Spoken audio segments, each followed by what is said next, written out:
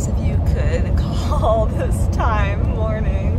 It's almost 4 a.m. and we are in the car en route to the airport for a whirlwind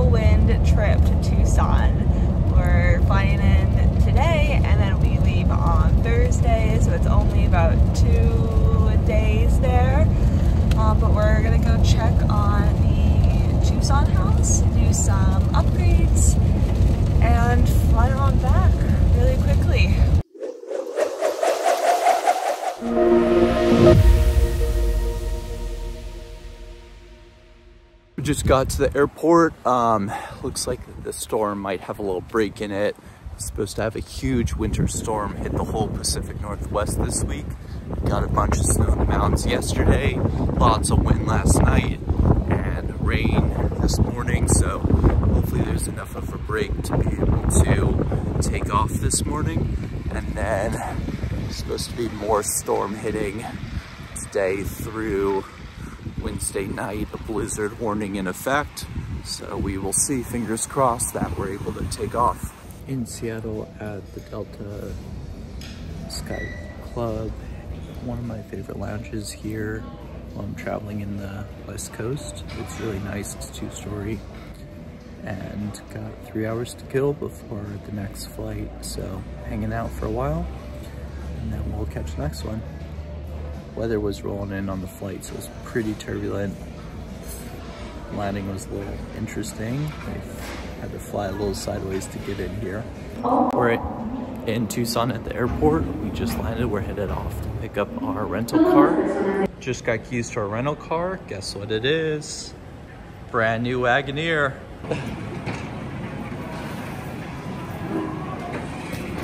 Driving up into the Catalina foothills one of my favorite areas in all of Tucson. That's why we bought a house down here.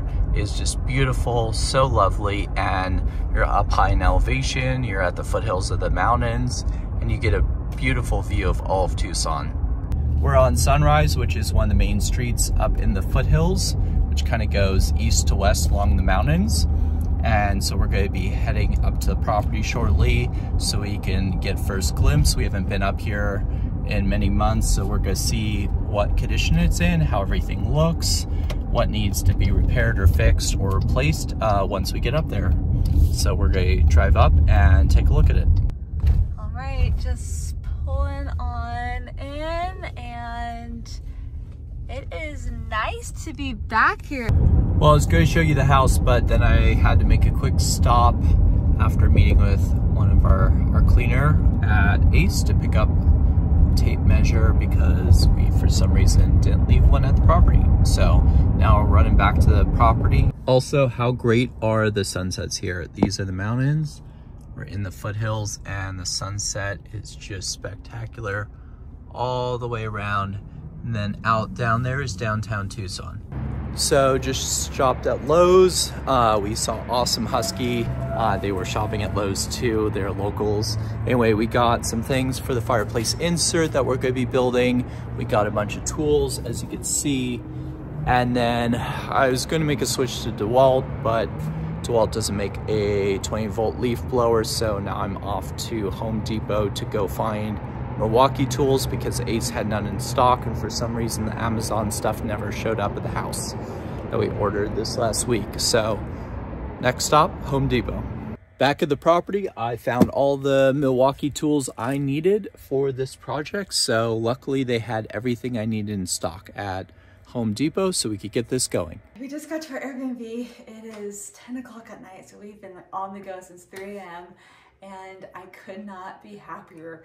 I just walked in and this place is amazing. Let me show you around. Okay, so the whole thing is like very Southwestern architecture. I feel like I'm brought back in time. I mean, the details on some of this, these pieces are just amazing and incredible.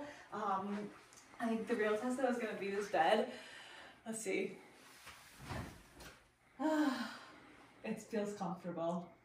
I could just stop the tour right here. I'm I'm ready to go to sleep. But there's more to show you.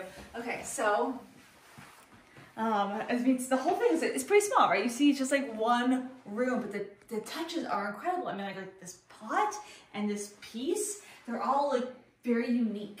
This is not decorated from Ikea. You know what I mean? This is a very thoughtful way of styling this place in a really um, specific style. I love it. I love it. Um, there's no real kitchen here. We just have a mini fridge. We put our leftover pizza that we ate tonight in.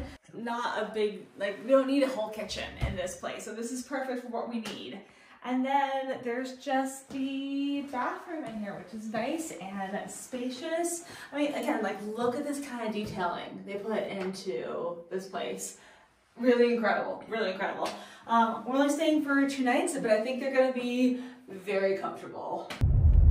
It is day two here in Arizona.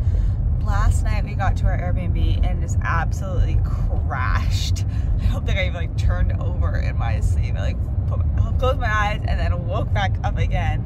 I could definitely use a few more hours as evidenced by the bags under my eyes, but we have a lot to do today. So we got up early again and we're heading back to the house to get started on our projects.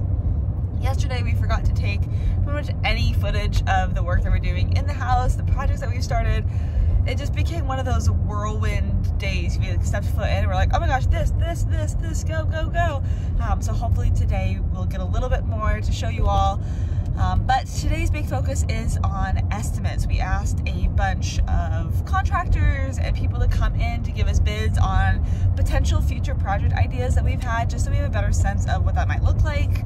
Um, so we will report back on what we've learned, how today went, and see where the day takes us. So we're inside the house today and I'm working on a fireplace insert. So I have a piece of plywood here I got from Lowe's. Here's the fireplace I'm gonna build, a faceplate here, and then a frame on the back to hold up the insert. And so I have a bunch of tools I got here, and then the framing materials, and then I have brackets as well. I stuck over here. So I'm gonna build that out and then I'll show you kind of what it looks like. So the fireplace insert is done. So it looks like this on the front. It'll be painted black so you don't see it. And then the back is like this set up. So it's this frame. I kind of ran out wood, but it's sturdy enough. No one's gonna be messing with it. So it should stay on there pretty well. And then it just goes in the fireplace like that. And I'll show you what it looks like when it's all finished. The fireplace insert is now all painted, as you can see here. I found some other wood to fix that little issue too. And now it's ready to go into the fireplace.